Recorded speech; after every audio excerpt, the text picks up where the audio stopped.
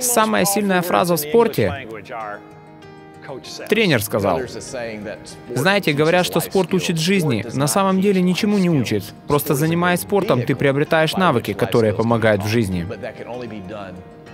И это возможно только с помощью тренера. Проблема в том, что всегда хотим сделать как можно лучше. Нас не устраивает хорошо. Когда тренер говорит, что ребенок хорош, и он научит достичь его вершин, он как будто берет за него ответственность. В какой-то мере это давит на тренера.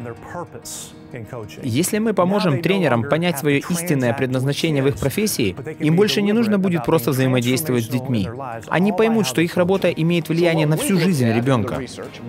Тренер может мотивировать атлета, начав с построения его внутреннего мира, так как это делал Христос со своими учениками, во всех трех измерениях личности человека.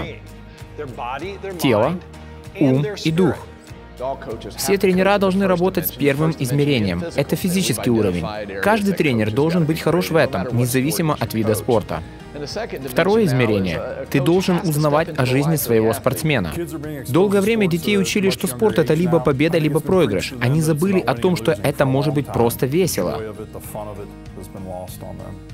Если мы тренируем тело, физический аспект, также думаем о психологии, взаимодействии с другими людьми. Мы обязательно также коснемся и души.